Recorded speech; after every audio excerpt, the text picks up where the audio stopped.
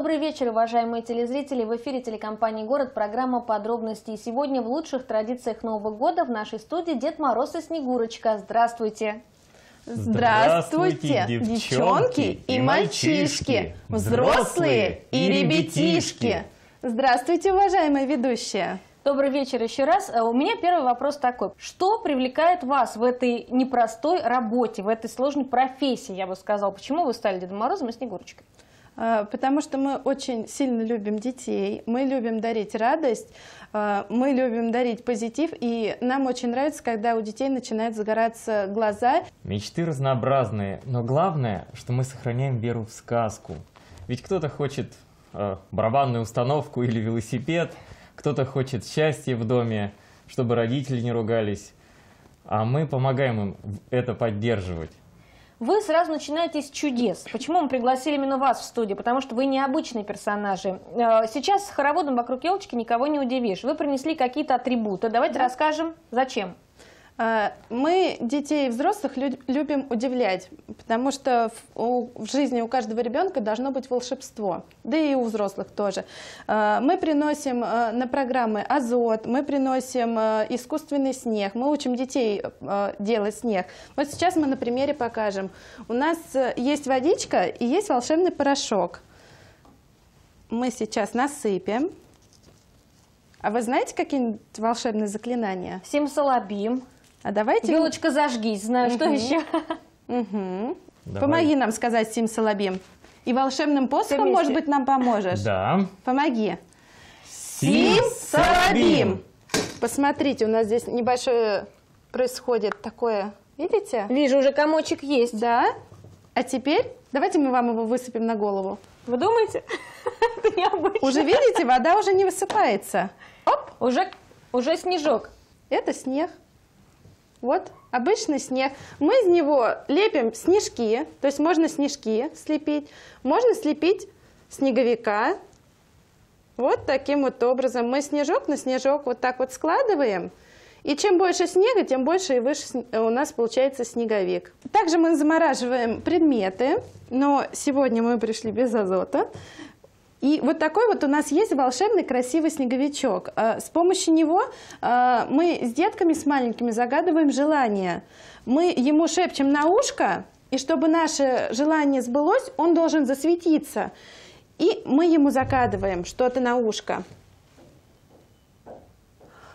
Значит, это желание, оно настоящее, и оно сбудется.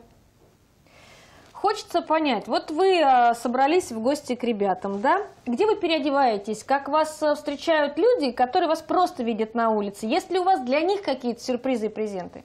Если программ много, мы ходим в костюмах. И если э, одна программа, допустим, в день, да, то мы можем переодеться и в подъезде, но так, чтобы нас никто не видел. Наверняка же были курьезные случаи, Дед Мороз. Не верю, что не было. Запутались в халате, застряли в лифте, перепутали ребенка. Все может быть. Рассказывайте. Мы могли ошибся, ошибиться квартирой. Ну, реакция, наверное, еще лучше, когда ты никого не ждешь, а звонит Дед Мороз в дверь. Безусловно. Столбенели и говорили «здрасте». А дальше мы-то работаем, у нас программа, нас То заказали. есть вас не остановить. Открылась дверь, и вы уже Да. да, всем миром. а люди не ожидают, но тем не менее соглашаются. Они сами начинают, ну, неожиданность, она выбивает человека из равновесия, и он ну, начинает сам верить в сказку, даже взрослый, потому что для него это неожиданно. Мы все привыкаем к рутине. Праздники нам нужны, чтобы вырваться из нее. А, и такое происходит со взрослыми. А если у ребенка еще мир довольно необычный, он еще не исследованный, и праздник ему помогает верить в сказку.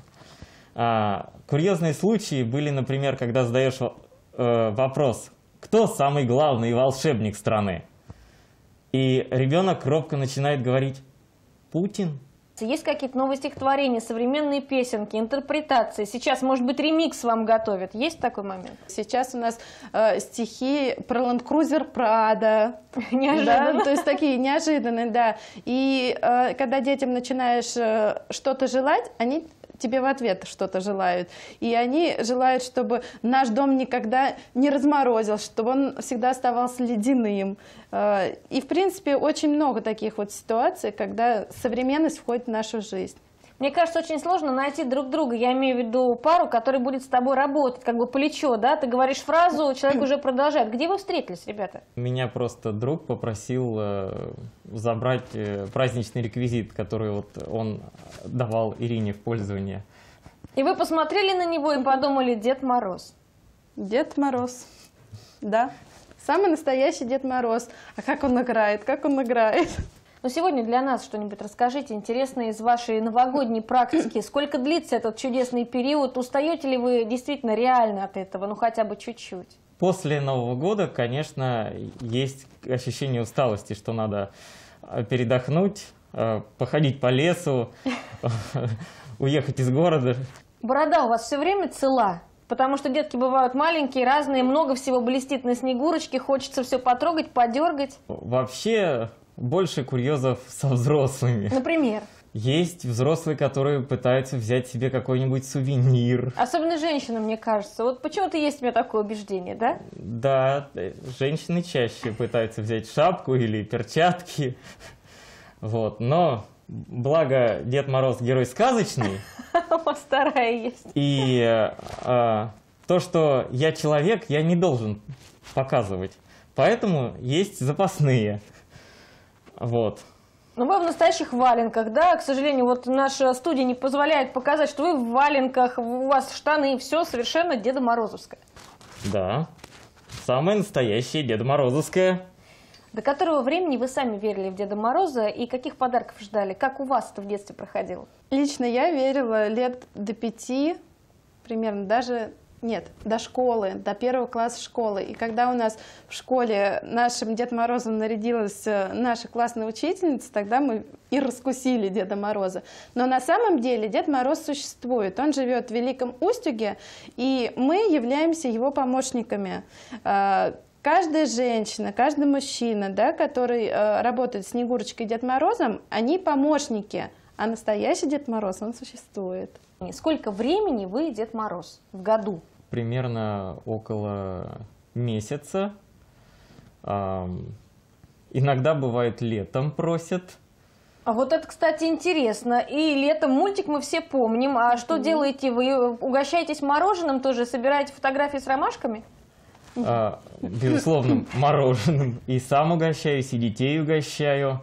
Прошу детей проявить сочувствие. Я ведь оказался в жаркое время года здесь. И э, тем самым развиваю их э, чувство, человечность, проявление доброты, а, проявление понимания к ближнему, что очень помогает. Мешок с подарками большой у вас? Иногда кажется, что неподъемный. А вообще все зависит от э, ситуации, куда идешь, э, к кому и как. Вот, э, потому что всем подарить какие-то большие подарки бываешь не в состоянии, а хочется чем-нибудь удивить все равно. И э, даже какой-то маленький сувенирчик, но интересный, все равно полмешка да приносишь. Давайте мы в заключении поздравим всех наших телезрителей с наступающим Новым годом. Им будет очень приятно услышать поздравления именно от Деда Мороза и Снегурочки. С наступающим вас Новым годом, друзья! Понимайте друг друга, любите, цените и уважайте. И чтобы в следующем году все ваши мечты, но только хорошие, обязательно только хорошие, мечтайте о хорошем, обязательно сбылись. И, конечно же, мы всем телезрителям желаем здоровья, успехов. Я желаю вам встретить Новый год хорошо, не разочароваться в том, что чуть-чуть передарили волшебства другим и немножечко, может быть, не хватает себе, чтобы у вас тоже случалось в жизни побольше хороших моментов. Это была программа «Подробности». До новых встреч!